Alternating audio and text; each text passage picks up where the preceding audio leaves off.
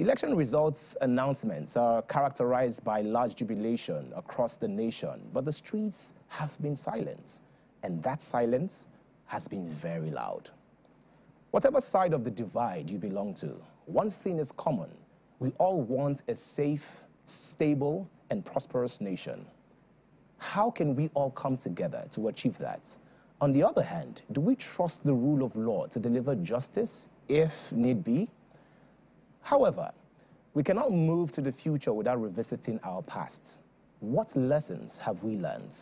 What are the takeaways from the 2023 presidential elections? To discuss this, um, joining us from Abuja, I have Fakhriyyah Hashim. She is a researcher. Hello, Fakiria.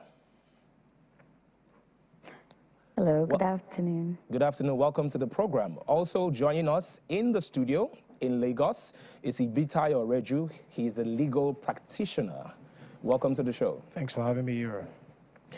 Also joining us via Skype is Chidi Okereke, who is a digital strategist. Hello, Chidi. It's good to see you. Hi, Hero.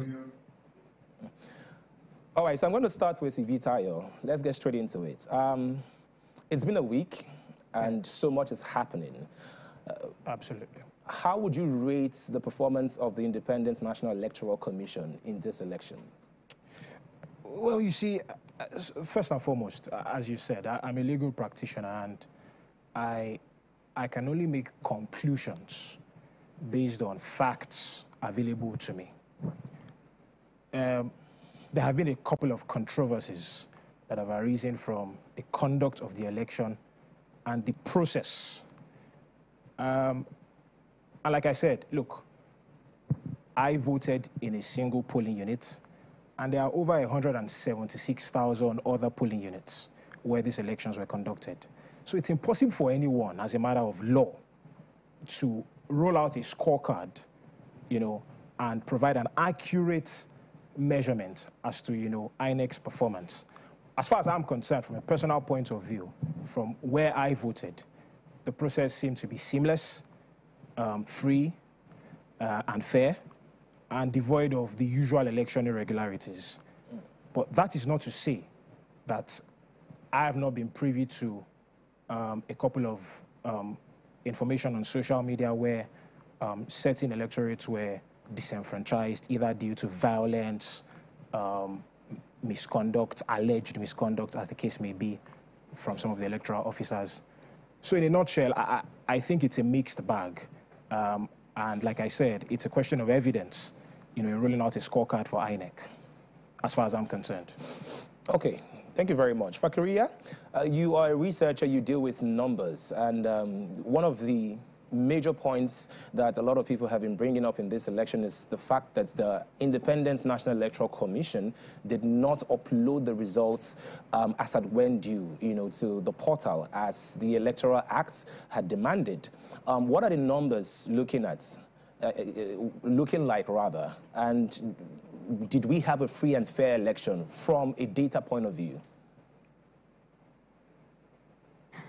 Hi, um, thank you for that question. Um, so up until yesterday, we were still hearing that INEC had not completely uploaded uh, most results from the IREV uh, to on the IREV. Um, and, you know, giving that, I, I, think that was really poorly uh, implemented, right? I mean, from the from the data side of things, um, I, I, believe CDD um, noted that we've seen about 30 percent of INEC officials arriving at polling units not on time. We've seen over 30 percent of INEC officials arriving on time, and you know the rest being disrupted by elect electoral violence. Um, I mean, uh, fundamentally, I, I, INEC has performed underwhelmingly um, this time around, but it doesn't really contrast with um, previous elections that we've had. We've, all of the issues that we've witnessed have been consistent with INEC's performance over the past few years. Um, so, you know, I, think there was, there's been a lot of expectation um, based on the budget allocation, that was the allocation of resources that was given to INEC that they would uh, perform a lot better this time, um, but that had not been the case. Um, there's been a lot of irregularities, um, and we've, you know, we've, we've witnessed a lot of disruptions. So yeah, um, I, I, don't, I don't think INEC did, um, did perform as we had hoped. Yeah. Okay. Uh, Chidi, social media was totally underestimated. The impact of social media on this election uh, was underestimated prior to the elections. I mean, we even had the presidential candidate, Kwankwaso, uh, who said that most of his voters are not on social media, and a lot of the political heavyweights um, really concentrated on the grassroots, quote and unquote, um, as they would refer, uh, which means people, which they think means people that are not on social media. What was the impact on social media, of social media on this election? Um, yeah, I like the fact that you referenced the fact that a lot of people underestimated the possible impact of social media because at the beginning of the campaign, especially of the the campaign by the Labour Party candidates, there were there were conversations around how social media did not have an impact, how it was four people tweeting from a room. From that, it grew to a movement that basically um, officially won more than six million votes and um, well, at the end of the day, when the courts, you know, investigate and everything, we'll find out that more votes were won. So yes, social media is a very, very valuable tool. Now, as internet connectivity deepens in Nigeria, it is only, it is only, um, it only makes sense that more people are definitely going to be connected. So when they say they are campaigning to grassroots, they're not campaigning to people on social media. Who do you think are the people who are at the grassroots level? My mother has WhatsApp. 10 years ago, that was not the case that people in the village can connect to us in, in um, urban areas. So who do you think people are listening to? Where do you think they get their information from? So if anybody thinks social media is not important, I think this, this election is a, is a testament to the fact that social media is, is a block on its own so there has been a lot of discrepancies. Um, a lot of people took pictures and made videos of their polling units. In fact, there's a particular viral video of um, uh, a polling unit counting LP votes, and it has since gone viral. LP 26, LP 75, or whatever the video was saying, right? Um, now, do you think that those pictorial, those pictures, videos, would be used as sort of evidence to challenge the results by INEC in the court. Do you think it's credible evidence? Um, so, I mean, I'm, I'm, I'm not a lawyer, um, so I can't exactly um, speak to the credibility of that in the court of law. But I think social media basically did what the INEC, um, IREV was supposed to do, right? If we did not have all those evidence, if we did not have all those proof, this result would have stood. So I think it, it, while a lawyer is in a better position to say whether it's admissible in court or not, I think it should be admissible because this is the people's mandate. This is actually what people took at the polling units, and this is what a lot of them used as as um, their their their confirmation that this election was won by a particular party. So for it not to be admissible, it would be very very weird, in my opinion. Okay, just to throw something in, you know, you made a statement that this result would have stood. I just also want to let you know that the result is standing until otherwise proven by the Supreme Court, which of course would handle the final matter. Um, I'm going to throw the same question to you. You are the legal practitioner here. Do you think some of those pictures and videos on social media are authentic enough to stand as evidence? Well, unfortunately, I can't make a comment as to whether or not the court will admit a document. You know, for a document to be admitted in court, it must satisfy the evidentiary requirements for its admissibility. However, the, I mean, case law is clear in satisfying or essentially in discharging the burden of proof as regards voting. It is the result sheet obtained from the polling unit that is admissible in evidence. However, like you rightly said, the score, the result that was announced by INEC remains the result as of today. It will then take a petitioner to file a petition, of course, within 21 days, and then adduce facts, you know, that will be surrounded by the three um, conditions or the three requirements for presenting a petition under Section 134 of the Electoral Act. The first is that the person who won that election was not qualified to contest the election at the time of the election. The second one is that the person who was returned as, as the winner did not score the majority of the lawful votes that were cast at the election. And the third requirement is the fact that there was non-compliance with the provisions of the Electoral Act.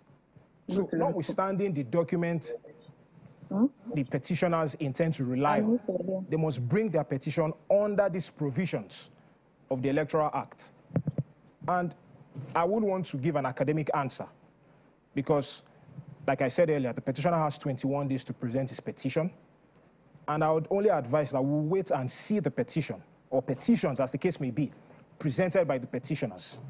And then, of course, I'll the decision of the court on the All issue. right. All right. Um, I'm going to ask a follow-up question to that, but um, let me speak to Fakhriyyah. Um, I think this has been the most dynamic election since 1999. Um, for the first time, we've seen a candidate not winning up to 50%, you know. Um, Bola Tinubu won 12 states, Atiku won 12 states, while Obi won um, 11 states and the FCT. And what that presents to us is that we now have um, a president that a lot of people did not vote for. Uh, what does that mean for Nigeria, and how do you think um, the president-elect should navigate through this? Um, yeah, thank you, thank you for that. Um, I, I, think we're witnessing a very interesting um, change in the dynamics of, of elections, right? Uh, predominantly PDP states um, his, that have historically voted for PDP in the past uh, few years have not voted PDP. We've seen them turn to LP states. Um, APC, uh, Buhari voting blocks um, have been split between the, the two major parties. So um, I, I, think watching all of this unravel, like unroll, um, has been really, really interesting to see. And um, yeah, as, as you can see, like no one is out celebrating. I think that has been that has been the talk of the streets like for a few days now uh, on social media and also you know when you go out it's probably going to be the first elections where we're not seeing people out you know celebrating people creating you know a sense of you know um, you know, victory and, and, and like uh, tapping into their sense of like happiness and, and, and victory.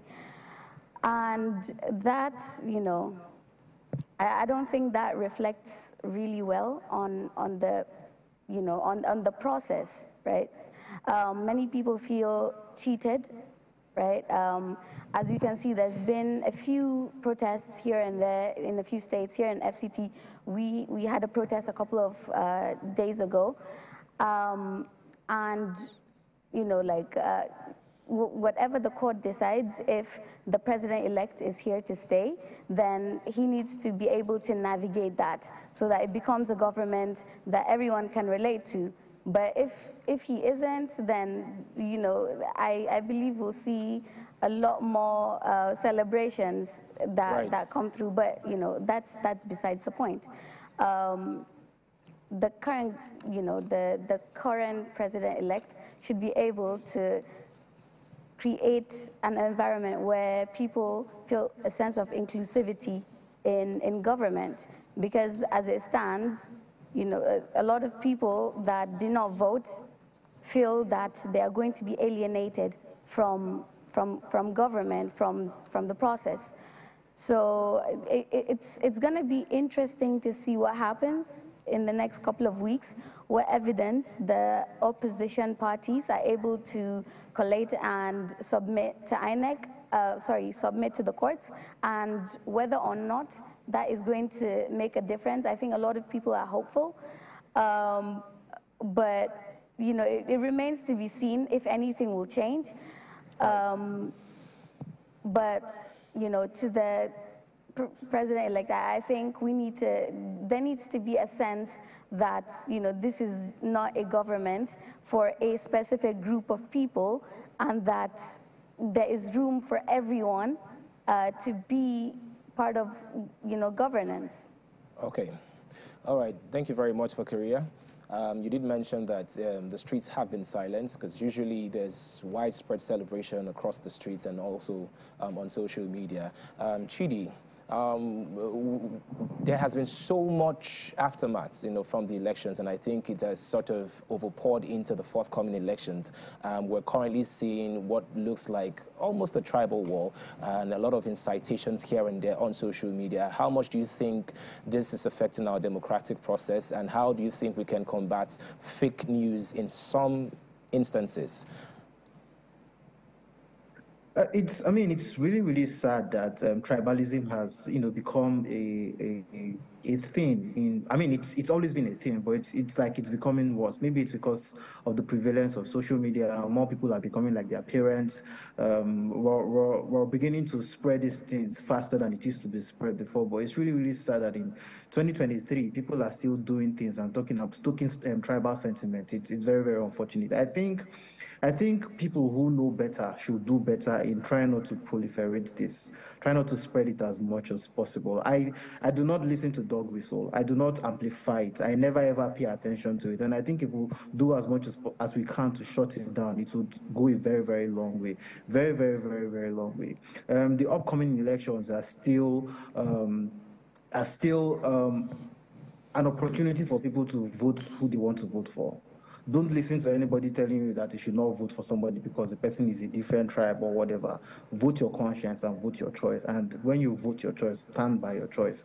I'm not a fan of people being insulted or or or abused because they choose whoever they. Whoever it is you choose, as far as the process is free, fair, devoid of intimidation, nobody is disenfranchised. I'm fine with whatever the result is. So everybody should vote. Keep tribal and religious sentiment in your pocket, please. There's no time for that. 100% I agree with you. Um, now, we've seen a lot of states, uh, a lot of slots in the Senate and, of course, the, the National Assembly elections. Uh, LP, the Labour Party is taking a lot of seats, grabbing a lot of seats. In fact, of particular mention, what happened at Eti-Osa.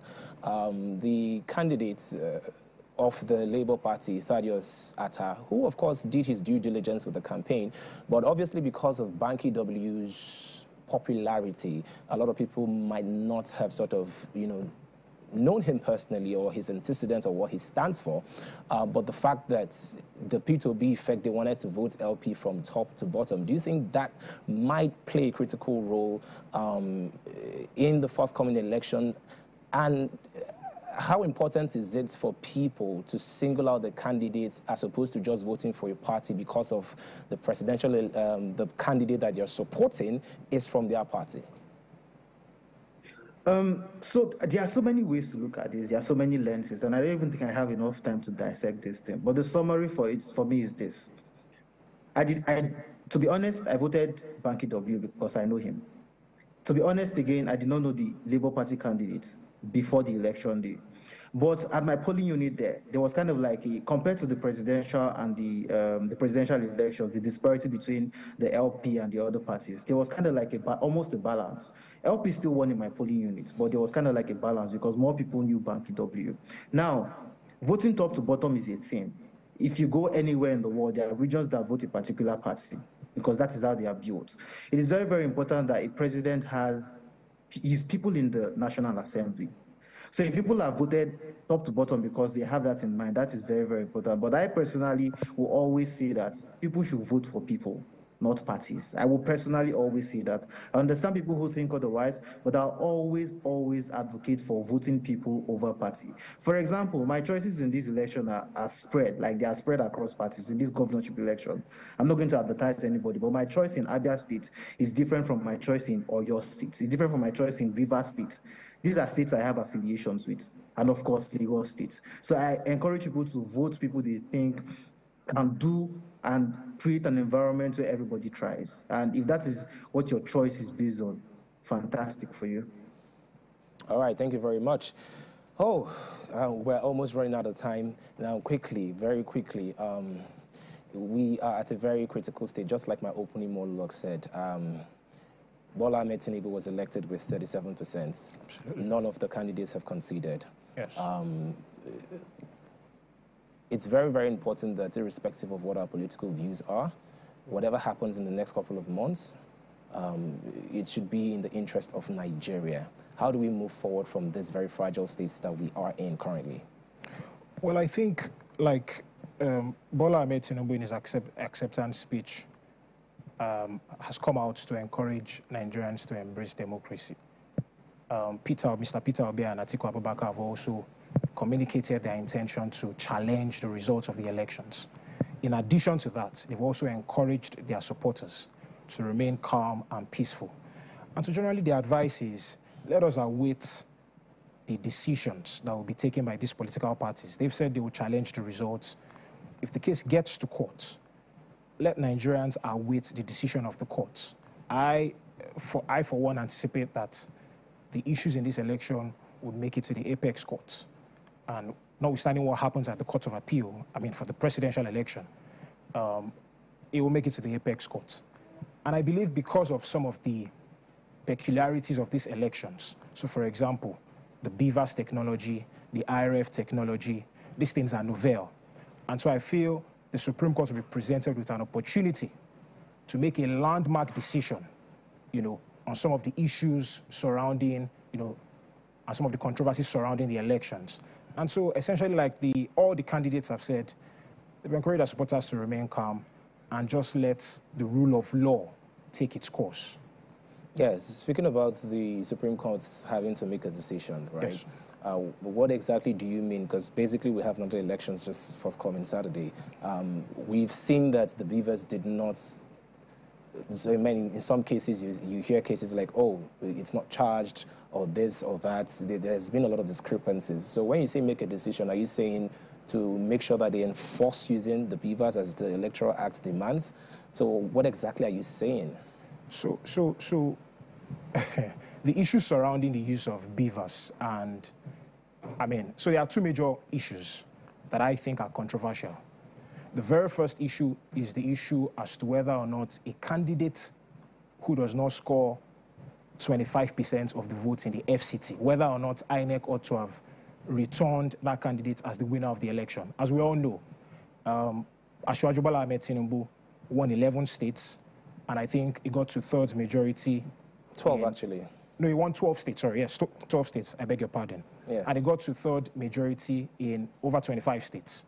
However, he didn't get a quarter of the votes in the FCT.